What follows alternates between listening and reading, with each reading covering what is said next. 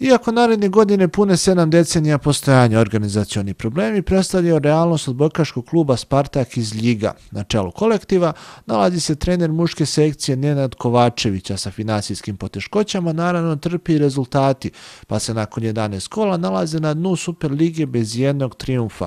U sklopu priprema pred utakmice sa najkvalitetnijim srpskim klubovima, Ljižani su boravili u hali sportova da se odmerili snage sa ekipom 2-0-14. Na sve to što se namestilo ove sezone, da imamo organizacijnih problema u klubu i raspored nam nikako nije išao na ruku.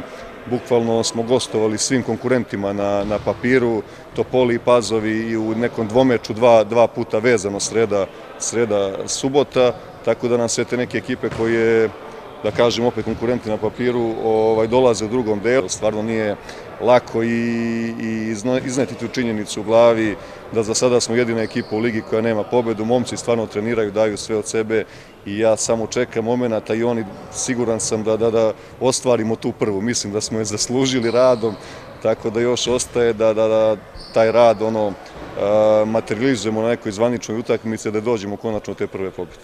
Sredstva dobijena od lokalne samouprave prošle godine bila su nešto manja, pa je sve to uticalo na aktualni trenutak klubu u sezoni u kojoj se takmiče u najvišem rangu srpske klubske odbojke. Sami znate da kalendarski budžet u jednoj godini se prelivaju dve sezone, tako da smo mi faktički ovu godinu ušli bez budžeta. Čekamo januar, novi budžet koji je okej da kažem da može da se Eh, Eh, izgura godina, ali za sada smo još uvijek bez budžeta i funkcionišemo na bazi trenutno donacija, pomoći od strane prijatelja kluba. Ja im se ovom prilikom stvarno zahvaljujem, tako da trenutno jako je teško. Da nije teško, verovatno ja ne bi bio predsjednik kluba, bio bi neko drugi. Razumete mi što hoću da kažem. Tako da svelo je se sve da se čeka januar, novi budžet za narednu kalendarsku godinu koji dosta treba da nam olakša, znači funkcionisanje i sve to, tako da iz tih razloga možete zaključiti koliko je teška ova polusezona i koliko bi nam značila neka pobjeda i koliko bi e, na svu, da kažem, po znacima navoda, muku, trud ljudi koji pomažu trenutno klub, e, jer, kažem, bez budžeta smo trenutno odopšteni, jer je bio mali prošlogodišnji potrošeni, a budžet je e, i muška i ženska selekcija kluba, tako, tako da jako je teško. Eto, i s nestrpljenjem očekujemo januar i budžet i konačno da funkcionišemo od novca iz opštinske kase.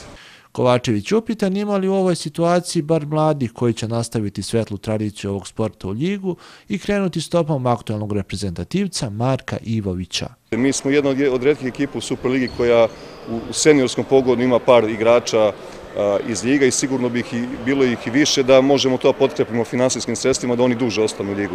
Prvi dizač i kapitan Željko Matić je momak iz Liga, primar servisa koji postavi Stefan Mirković je također Liga, to su momci koji su u početcima nekim svojim odbojkaškim i svoje odbojkaške priče ponikli u Ligu, osvojili pregrš medalja sa mlađim kategorijama u Ligu, tako da nema ništa lepše kada dete iz vaše škole odbojke zaigra u istom klubu i superligaški nivo. Trenutno u školici odbojke obitava nekih 40 klinaca, pola, pola dečaci, dečaci, devojčici, tako da se nadam da je to pravi put da i oni jednog dana budu kao ova dva momka sada, zašto ne i kao Marko Julić. U Ljig već u petak nakon dva nova poraza stiže aktualni šampion države Novosadska Vojvodina i na taj način startuje drugi deo Superlige Srbije u muškoj konkurenciji.